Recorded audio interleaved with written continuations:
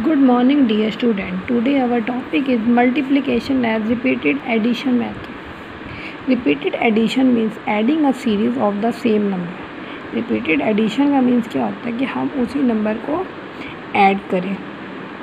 जैसे अगर फोर है तो फोर को अगर हमने फाइव टाइम्स ऐड करना है तो four plus four four plus four four plus four like this multiplication is a short way of repeated addition कोई भी चीज़ को आसान करने के लिए ये मेथड हम यूज़ करते हैं शॉर्ट वे में है।